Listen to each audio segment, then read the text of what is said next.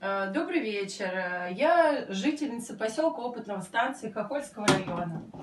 В крайне отсутствует вода уже неделю. У меня трое детей, посуду я мою вот таким вот образом э, с баклаши, которые я набрала в соседнем поселке, так как воду нам не подвозили.